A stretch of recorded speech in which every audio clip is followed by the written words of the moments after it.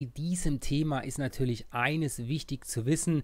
Es gibt hier Risiken im Handel mit Devisen und CFDs auf Margen. Das Ganze kann zu Verlusten führen. Sie riskieren, ihr investiertes Kapital zu verlieren. Das mal ähm, entsprechend mit vorab. Über welche Themen sprechen wir jetzt? Wir schauen im Währungshandel jetzt einfach einmal darauf, ähm, dass wir Stärke oder Schwäche einer Währung beurteilen. Wir schauen auf den US-Dollar-Währungskorb, wir schauen auf den Euro-Währungskorb und wir machen auch einmal ein einen Chart-Check, wie das Ganze in Interaktion miteinander funktioniert. Warum ähm, macht man sowas? Warum schaut man hin, ob eine Währung stark oder schwach ist? Wir haben ja heutzutage hier ähm, Märkte, wo wir unheimlich viele Währungen miteinander ähm, entsprechend auch traden können. Wenn wir uns das Ganze mal anschauen hier auf der Seite von Tickmill, ich hole sie mal ganz kurz rein. Ähm, wir haben ja hier boah, in die 80 Währungspaare, glaube ich, oder in die 80 ähm, ähm, Instrumente zu handeln. Und wenn Sie sich mal die Instrumente der Devisen anschauen, Sie haben halt auf der Seite der Devisen hier unheimlich viele unterschiedliche Währungspaare. Ne? Das sehen Sie, wie, wie das Scrollen hier, also das sind schon sehr, sehr viele ähm, verschiedene Märkte, die Sie traden können. Und da gibt es halt immer wieder die unterschiedlichen Korrelationen, also diese Zusammenarbeiten dieser Währung, diese, diese, diese, diese, diese Cross-Currencies sozusagen, ähm, die miteinander auch arbeiten und ähm, manchmal Manchmal bewegen sie sich gleich, manchmal bewegen sie sich unterschiedlich. Es gibt immer Hauptwährungspaare, ähm, der das, die das Ganze anführen. Und, und da kommt es halt drauf an, wenn dieses Hauptwährungspaar, beispielsweise der US-Dollar, schwächer wird ähm, und bei dem anderen Währungspaar sich nichts verändert, ähm, dann fallen die Kurse beziehungsweise umgekehrt. Und um das Ganze etwas zu ähm, besser zu streuen, um zu sehen, hat man jetzt hier halt eine Währungsschwäche oder eine Währungsstärke, die dann für gewisse Bewegungen ähm, verantwortlich ist. Aus diesem Grund macht das Ganze einfach Sinn, mal sich mit diesen großen Indizes äh, beziehungsweise ähm, Währungskörben zu beschäftigen. Und das besprechen wir jetzt hier auch mal. Also im Blick zum Währungsmarkt schauen wir jetzt einfach mal, was bedeutet denn Stärke oder Schwäche? Wie wird das Ganze hier beurteilt? Ja, das heißt, bei der Stärke oder Schwäche einer Währung hat das halt immer Impact auf die entsprechende Entwicklung hier im Markt dieser entsprechenden Währung. Das heißt, ähm, Währungen werden ja beeinflusst durch externe Einflüsse. Das heißt, der Wert einer Währung kann ähm, ähm quasi steigen oder sinken durch Wirtschaftsnachrichten, durch Arbeitsmarktzahlen oder durch die Zinsentwicklung. Ja, es gibt hier bei den Währungsmärkten auch immer Interaktionen mit Aktien, mit Rohstoffen, mit Zinsen. Sie haben das sicherlich auch immer mal festgestellt, ein niedriger Euro ist in der Regel gut für die deutsche Wirtschaft, weil die Produkte im Ausland dadurch besser verkaufbar sind. Äh, es hat Einfluss auf die Rohstoffe. Ja? Eine starke oder schwache Währung macht einen Rohstoff entsprechend billiger oder teurer, einfach weil man die Menge an Rohstoff, die ist ja gleich, also ein Fass Öl ist ein Fass Öl, aber die Menge an Geld, die der Verkäufer dafür haben möchte, die ist ja entsprechend gewichtet so. Und wenn jetzt eine Währung schwächer wird, dann muss man halt entsprechend mehr für das Öl bezahlen, damit der Verkäufer den gleichen Wert wieder bekommt und auch un, äh, umgekehrt, wenn äh, eine Währung stärker wird, ähm, dann bekommt derjenige halt weniger ähm, an Menge an Geld dafür, aber der Wert ist entsprechend auch der gleiche. Das heißt, es gibt hier immer Interaktionen, die man zusammen sehen kann, die dann entsprechend auch Einflüsse auf andere Währungen haben kann oder auf andere Märkte haben kann, beziehungsweise andere Märkte können unsere Währung auch beeinflussen. Und mit diesem Wissen um das Ganze ähm, sind wir dazu in der Lage, wenn wir das Ganze fundamental richtig einordnen, ähm, planbare Geldströme äh, zu erkennen. Das heißt beispielsweise ähm, die Erhöhung oder der, der Rückgang bei der Nachfrage nach einer Währung ist gut und gerne planbar. Das sehen wir auch, wenn sich zum Beispiel die Zinsen in einer Währung erhöhen äh, nehmen wir mal an, machen wir mal ein Beispiel, die, die Zinsen in den USA sind ja hier entsprechend ähm, deutlich höher als in Europa. Das heißt, da geht ja eine Art Zinsschere auf. Und wenn diese Zinsschere ähm, groß genug ist, dann beginnen halt die Investoren irgendwann zu sagen, Momente mal, äh, wir bekommen ja in den USA risikolos oder mit deutlich weniger Risiko deutlich mehr Rendite im Zinsbereich, als man das beispielsweise im Aktienbereich in Europa bekommen kann. Was passiert dann? Dann fangen diese Investoren entsprechend an, beispielsweise Zinspapiere in den USA zu kaufen. Bevor ich ein Zinspapier in den USA kaufen kann, muss ich aber die Währung entsprechend erst einmal umtauschen. Das heißt, was passiert hier? Im Euroraum wird die Währung verkauft, im Dollarraum gekauft. Das heißt, die Nachfrage nach dem US-Dollar steigt. Ähm, das heißt, die, die, die, die Preise für den US-Dollar gehen nach oben, damit die entsprechenden Anleihen auch gekauft werden sollen. Im Gegenzug natürlich haben wir Verkaufsdruck im Euro. Der Euro entsprechend sinkt. So ist mal grob erklärt, kann kann so eine Zusammenarbeit dieser entsprechenden Faktoren miteinander ähm, funktionieren. Und damit wird natürlich Bewegung in diesen ganzen Währungsmarkt gebracht. Alleine beispielsweise durch das Thema Zinsänderung. Ja, das, kann man, das Ganze kann man auch noch etwas weiter stricken. Wenn man beispielsweise hier mal auf die Aktienmärkte schaut, also in die Indizes, wenn wir Volkswirtschaften haben, ähm, wo die Aktienmärkte ganz schlecht laufen und andere Volkswirtschaften, wo die Aktienmärkte richtig gut laufen, ja, dann gehen natürlich die großen Investoren dorthin, wo sie Geld verdienen können. Und wenn wir beispielsweise, ich gehe jetzt mal wieder auf den Euro-US-Dollar ein, wenn wir in dem Euroraum eine deutlich schlechtere Wirtschaftsentwicklung haben als in den USA, dann fließt halt das Geld von Europa in die USA, was dann wiederum ähm, die, äh, die, die Nachwirkung hat, dass die Nachfrage nach dem US-Dollar wieder steigt und dadurch der Euro sinkt und der US-Dollar nach oben geht und dort das Geld investiert wird. Und umgekehrt natürlich auch, wenn die USA mal anfängt deutlicher zu schwächeln und Europa deutlich aufholt, das heißt beispielsweise der DAX deutlich steigt und die Unternehmen hier deutlich interessanter sind, dann kann das halt genauso passieren, dass Geld aus den USA in die Eurozone fließt, also in Euro umgetauscht wird. Das hat dann zur, Nach äh, zur, zur, zur Situation, dass die Nachfrage im Euro steigt und dadurch natürlich die Kurse steigen. Der Dollar fällt dann entsprechend. Äh, das hat dann entsprechend diese Auswirkungen. Und damit können Sie entsprechend auch planen, fundamental, wie sich Geldströme entwickeln können. Und wenn Sie dann in die Charts schauen, ähm, dann können Sie halt sehen, was spielt der Markt denn jetzt? Spielt ja dieses fundamentale Spiel? Also das heißt, wird die Währung tatsächlich stärker? Sehen wir das an steigenden Kursen? Oder wird die Währung tatsächlich schwächer? Dann sehen wir das an den fallenden Kursen. Also das sind die Dinge, die Sie hier entsprechend aus diesem Ganzen rausziehen können und dann entsprechend für Ihr Trading Ähm, sozusagen ähm, ja, nutzen können für die Planung ihrer, ihrer Trades, die sie machen möchten. Ja, also hier schauen wir wirklich auf den Währungskorb ähm, und bei dem Währungskorb ist es halt so, dieser Korb richtet sich an der Leitwährung aus. Also das heißt, wenn wir den Dollar-Index schauen, richten sich alle Währungen am US-Dollar aus. Wenn wir auf den Euro-Index schauen, dann richten sich die Währungen entsprechend an dem Euro aus. Das heißt, hier ist es so, ohne eine weitere Veränderung der, der Nebenwährung, äh, also das heißt, wenn die Leitwährung stärker oder schwächer wird, wenn sich die anderen Währungen nicht verändern, dann ist es halt so, dass entsprechend hier Kurse ähm, sinken bzw. Kurse steigen, je nachdem, ob wir jetzt die Hauptwährung schwächer oder entsprechend stärker haben. Ne? Also wenn die, wenn die Leitwährung schwächelt, dann steigen die anderen Währungen und natürlich hier auch umgekehrt. Und das schauen wir uns jetzt mal an, wie diese einzelnen Währungskörper ausschauen. Das heißt, wir beginnen mal hier mit dem Korb der USA. Das heißt hier nicht den Korb der USA, sondern mit dem US-Dollar-Währungskorb. Das heißt hier, der US-Dollar-Index ist sozusagen die die, die Benchmark für die internationalen oder für den internationalen Wert des US-Dollars. Und wir haben einen Korb, der entsprechend aus sechs verschiedenen Währungen besteht. Die sind auch unterschiedlich gewichtet. Das heißt, dieser Korb besteht aus dem Euro, dem japanischen Yen, dem britischen Pfund, dem Kan-Dollar, ähm, der schwedischen Krone und dem Schweizer Franken. Diese Währungen sind in diesem Korb hier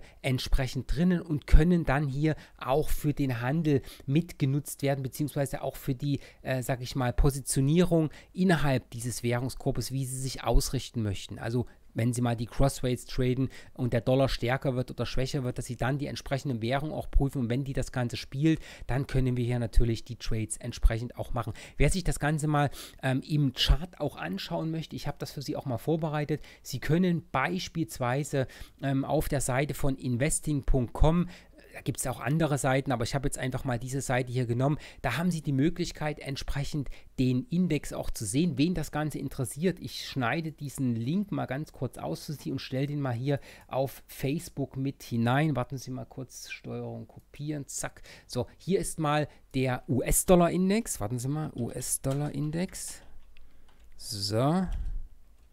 Zack, so, da ist er. Hier ist mal entsprechend das Bild vom oder der Link zum US-Dollar-Index ähm, auf investing.com und da sehen Sie, wie sich so ein Markt entsprechend äh, verhält. Das heißt, wir können hier so ein bisschen Chartanalyse machen. Äh, warten Sie mal, ich hoffe, wir kriegen es jetzt direkt auch rein. Genau, äh, heißt halt, wenn wir, sich, wenn wir uns diesen, diesen Markt, diesen, äh, diesen Chart einmal entsprechend auch anstellen und wir zum Beispiel hier auf Tagesbasis uns diesen Markt anschauen, dann können wir halt gut sehen, haben wir jetzt einen Aufwärtstrend, einen Abwärtstrend, einen seitwärts laufenden Markt, wenn wir uns das hier mal einspielen. Und wir sehen halt hier beispielsweise im US-Dollar-Index, dass der Markt halt ziemlich stark nach oben läuft, äh, hier Schwankungsbreiten hat, nach oben nicht dolle weiter rauskommt und nach unten immerhin ordentlich korrigiert. Und das sind die Dinge, die wir hier absehen können. Und das ist das Spiel, was zum Beispiel der Euro ähm, entsprechend auch immer wieder macht, das heißt, wenn der US-Dollar jetzt stark ansteigt, dieser Dollar-Index, dann sinkt der Euro auch ziemlich doll nach unten. Wir gucken uns das Ganze mal praktisch an. Wir nehmen mal hier eben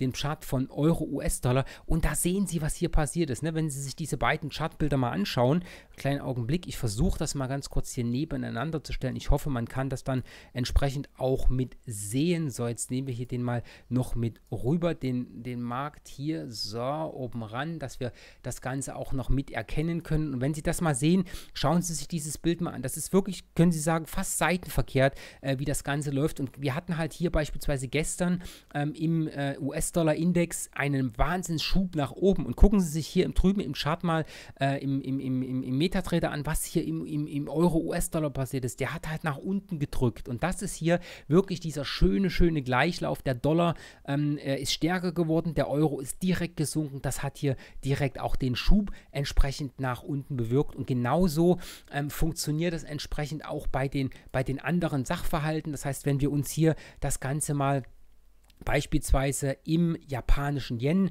äh, mit anschauen, also Dollar-Yen beispielsweise, da sehen wir das ebenfalls, kleinen Augenblick, hier haben wir das, wir sehen es hier, ähm, ist es so, jetzt steht der US-Dollar vorne dran, das heißt, hier haben wir den Gleichlauf, äh, entsprechend, wenn der US-Dollar halt wirklich ähm, äh, entsprechend stärker wird, dann gibt es halt für den US-Dollar mehr an Yens im Währungskorb. Und das sehen wir dann hier an steigenden Preisen, also Sie sehen, diese Korrelation des Ganzen ähm, ist halt da. Ähm, und, und das können wir sehr, sehr gut für die Trades auch mit benutzen um hier die entsprechende Planung auch zu machen. Also das sind alles schöne Dinge und Sie sehen halt hier schön auch diesen trendigen Markt nach oben. Hier unten kommen dann immer mal so die ersten Umkehrbewegungen. Wenn wir uns dieses, diesen Bereich hier mal anschauen, wir haben jetzt hier entsprechend die Korrektur gehabt und diese Korrektur ist hier unten rumgedreht und wer sich das Ganze anschaut im Stundenchart, der sieht das Ganze halt hier auch. Wir haben, kleinen Augenblick, das muss ich mal etwas kleiner skalieren, wir haben entsprechend hier unten diese Abwärtsbewegung gehabt ne? und dann, dann kam, was hier kommen musste, wir haben einen untergeordneten Aufwärtstrend Aufwärtstrend bekommen. Und dieser untergeordnete Aufwärtstrend war sozusagen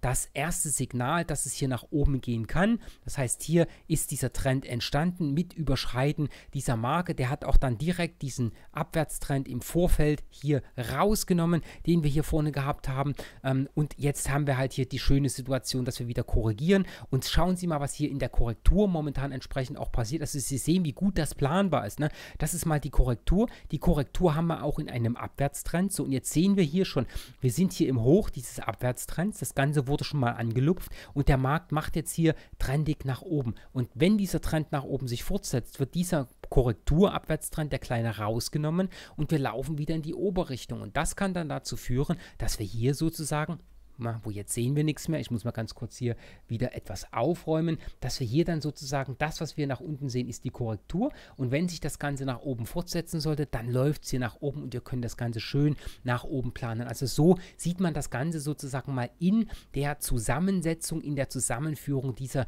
entsprechenden Charts. Und wenn wir uns das Ganze ähm, mal noch etwas weiter mit anschauen, wir haben jetzt ja den Euro-US-Dollar gehabt, wir hatten den japanischen Yen, schauen wir mal auf das britische Pfund, also das Cable britisches Pfund, US-Dollar, da sehen wir hier das gleiche Bild. Sie müssen halt nur immer schauen, wo steht die Währung. Ne? Steht der Dollar vorne weg, dann schiebt es den Markt nach oben. Wenn der Dollar hinten ran steht, dann schiebt es den Markt nach unten, wenn der Dollar stärker wird. So heißt also hier vom Prinzip, wir haben jetzt hier gestern ähm, diesen starken Schub im US-Dollar-Index nach oben gesehen. Pam, ging es im britischen Pfund entsprechend nach unten. Der US-Dollar-Index ist im Aufwärtstrend, hier diese Währung entsprechend in einem Abwärtstrend, weil natürlich der Dollar stärker wird und der Pfund hier an Kraft verliert und wir natürlich weniger Dollar pro Pfund bekommen und deswegen sehen wir diesen Schub nach unten und wir sehen auch sehr, sehr schön hier diese Trend nach, diesen Trend nach unten laufen. Wir sehen hier oben immer die Situationen, wo der Markt wieder rumdreht, was wir dann nach unten zum Traden benutzen können. Also das auch hier Stärke, Schwäche hervorragend umgesetzt. Dann schauen wir mal noch in den US-Dollar kann-Dollar mit hinein. US-Dollar kann-Dollar haben wir hier unten, wenn ich das noch richtig in Erinnerung habe. Ne, das steht auch mit oben. Ähm, hier ist er zack, da drüben rein. Da sehen wir das Bild. Hier steht der US-Dollar wieder vorne. Das heißt, wenn der US-Dollar stärker wird, dann gibt es natürlich hier mehr Währung dafür. Und das ist jetzt mal ein Paarung, das sehen Sie auch entsprechend hier an der Gewichtung. Der Kan-Dollar ist nicht mehr ganz so stark gewichtet wie beispielsweise der Euro oder der japanische Yen. Das heißt, diese Bewegungen werden dann häufig nicht mehr eins zu eins nachgezogen. Das heißt, hier sehen wir beispielsweise im US-Dollar Kan-Dollar einen Markt, ähm, der entsprechend diese Aufwärtsdynamik vom Vortag äh, vom US-Dollar US-Dollar-Index nicht so mitgemacht hat. Ne? Er ist auch ein bisschen angestiegen, aber bei weitem nicht ganz so stark. Und das, das ist mal ein Bild, ein sehr, sehr schönes Beispiel dafür, woran wir sehen können, wenn wir uns diesen Währungskorb anschauen. Wir können hier wirklich schauen, welche dieser Währungen entsprechend gut mitlaufen dann können wir sehr schön daran treten und welche dieser Währung das Ganze nicht so mitmachen, ja, weil ähm, wenn es in der anderen Währung, also jetzt beispielsweise im Kann-Dollar, ähm, doch Nachrichten gibt, die eine, eine Stärkung oder der Schwächung des Kann-Dollars mit bewirken können, dann hat das natürlich auch Einfluss auf die entsprechenden Bewegungen in diesen Charts, weil dann gibt es zwei Währungspaare, deren Wert plötzlich bewegt werden kann und da, wenn der Kann-Dollar beispielsweise jetzt ähm, entsprechend auch stärker wird, dann fällt natürlich die Bewegung zu dem stärker wegenden US-Dollar deutlich geringer aus. Und das sind Zusammenspiele, wo man, wo ich sage, schauen Sie sich auch immer die anderen Währungen an. Und dann schauen wir jetzt hier nochmal in den Schweizer Franken hinein, das heißt US-Dollar, Schweizer Franken. Und hier sehen Sie auch wirklich sehr, sehr, sehr schön ähm, diesen Gleichlauf, den wir hier haben. Mache ich auch gleich für Sie nochmal etwas größer. Also Dollar stärker geworden hier, sehr, sehr schöner Schub nach oben. Also auch Dinge, die wir entsprechend in der Währung hier mit sehen könnten. Sie sehen an den Zeichnungen, die ich hier habe, ähm, auch mal, was wir hier auf der Uhr mit hatten was der Markt hier entsprechend auch machen kann. Also Sie sehen, das sind schon Dinge von Interesse, wo wir anhand dieser Korrelationen mit der Leitwährung gute, ähm, sage ich mal, Möglichkeiten haben, die vielen Währungen, die wir uns anschauen, einzuschränken, so ein bisschen auf die, die gerade auch wirklich hoch interessant sind. Und damit würde ich ganz gerne nochmal das Pendant dazu anschauen. Das heißt, wir schauen mal hier auf unsere Heimatwährung, wir schauen mal auf den Währungskorb im Euro. Das ist sozusagen der Euro-Index. Das ist hier die Benchmark für den internationalen Wert im Euro. Hier gibt es einen Korb, der aus vier verschiedenen äh, Währungen besteht. Die sind alle gleichgewichtet. Das heißt, wir haben hier den US-Dollar, den britischen Pfund, den japanischen Yen und den Schweizer Franken entsprechend mit drinnen. Und diesen äh, schauen wir uns auch mal an, auch auf der Seite von investing.com. Warten Sie mal, ich stelle Ihnen dann auch gleich nochmal den Link hier ähm, in den Chat hinein. Ich kopiere Ihnen den mal ganz kurz. Kleinen Augenblick, das dauert einen kurzen Moment kopieren. So, und dann haben wir hier entsprechend den Euro-Index. Den Euro-Index. So, zack, da haben Sie mal den Euro-Index, wenn Sie sich das Ganze hier auf investing.com auch anschauen möchten. Und hier ähm, ist es so, schauen Sie sich diesen Index mal an. Hier ist der natürlich abwärts gerichtet innerhalb dieses Marktes. Ähm, und das ist natürlich hier, wenn wir uns das Ganze mal anschauen, ein Wert, ähm, der hier ja immer mal nach oben läuft. Jetzt läuft er wieder nach unten. Wenn wir uns das große Bild mal anschauen, ist er halt abwärts gerichtet. Das heißt, der schwächelt immer noch der Euro. Wird sich zeigen, wie lange das so weitergeht. Wenn die Zinsen in Europa wieder steigen, kann sich das auch sehr, sehr schnell ähm, mit umändern. Aber hier können Sie mal sehr, sehr schön erst einmal eine Analyse dieses Warenkorbes entsprechend auch machen. Und was wir jetzt hier machen, ist, ähm, wir schauen uns das Ganze mal im äh, Markt sozusagen an. Das heißt, wir schauen mal die wichtigsten Punkte hier an, die wir im Bereich des Euros haben. Wir schauen mal erst einmal natürlich auf den Euro-US-Dollar, weil das das ist, was wir hier auf der Uhr hatten. Da hatten wir ja gerade äh, schon mal reingeschaut. Ähm, da haben wir natürlich hier diesen schwächelnden ähm, Euro und ähm, weil der Euro hier vorne weg ist, heißt das halt, wenn der Euro schwächer wird, wir bekommen ähm, hier entsprechend ähm, weniger für unser Geld, deswegen sinkt dieser Markt hier und hier sehen wir halt die Schwäche des Euros. Klar, da brauche ich jetzt nicht zu reden, geht hier definitiv nach unten ähm, und das ist natürlich die Situation, die wir hier aus dem fallenden Index auch sehen. Schauen wir mal in die zweite Währung rein und zwar den Euro in Zusammenarbeit mit dem britischen Pfund im Tageschart ähm, und da sehen wir halt äh, hier, dass wenn der Euro ähm, entsprechend schwächer wird, müssen wir halt für das britische Pfund mehr bezahlen und das ist das, was wir sehen. Ja, der Euro ist ja die letzten Tage hier etwas ähm, wieder nach unten gekommen und hier sehen wir das Ganze auch, wo der Euro nach unten gegangen ist, ist der britische Pfund entsprechend hat einen Wertzuwachs erfahren. Das heißt, wir haben jetzt hier einen aufwärts tendierenden Markt, während die, äh, der Euro-Basket etwas schwächer geworden ist und das ist hier, was gespielt wird. Klar, die Volatilität ist hier sehr, sehr hoch. Äh, wenn wir uns diese Kerzen auch immer mit anschauen, das muss dann als Händler auch immer an den einzelnen Handelsstil abgepasst sein, aber die Richtung passt hier natürlich auch. Schauen wir mal uns das Ganze noch im Euro-japanischen Yen an, hier auf das, dieser Seite. Und hier sehen wir ähm, entsprechend, dass wir den Schub nach unten haben. Das heißt, hier äh, haben wir immer dann, wir schauen das Ganze uns mal über, drüber an, also dann, wenn der Euro hier entsprechend stärker wird, sinkt natürlich dieser Wert und bei Schwäche ähm, ähm, steigt das Ganze an. Und hier sehen Sie jetzt entsprechend ähm, diesen, diesen, diesen Lauf. Also immer dann, wenn hier drüben entsprechend der Markt, dieser Chart nach unten abfällt, gibt es hier im Euro, japanischen Yen diesen Schub nach unten. Das heißt, hier gibt es diesen, diesen Lauf entsprechend auch mit, den wir hier haben. Und das ist auch ein, eine, eine Korrelation, die wir hier sehr, sehr schön mit beurteilen können. Na klar, diese, diese Trends an sich, die stimmen nicht hundertprozentig überein, weil das immer noch andere Währungspaare sind. Aber die, sage ich mal, die Richtung, in die es hier an dieser Stelle geht, die ist immer auch schon da. Und da sehen wir auch sehr, sehr schöne Bestätigung des Ganzen. Dann schauen wir uns nochmal den Euro-Schweizer Franken an und dann haben wir hier diesen Währungskorb auch mit komplett durch, miteinander besprochen.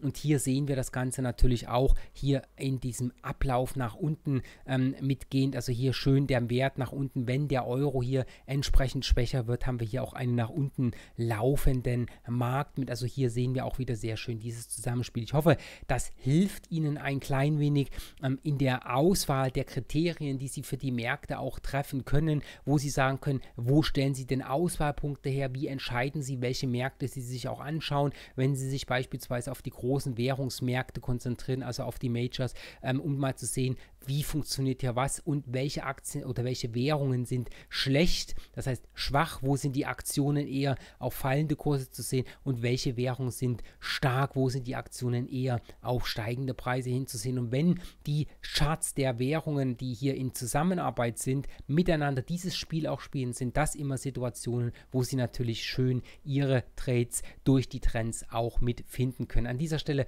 möchte ich mich ganz herzlich für Ihre Zeit hier äh, bedanken, für das Webinar, wünsche Ihnen da auch gute Trades und natürlich wird dieses Webinar für Ihnen oder für Ihre Nachschau später auch direkt noch ins Archiv für Sie hochgeladen.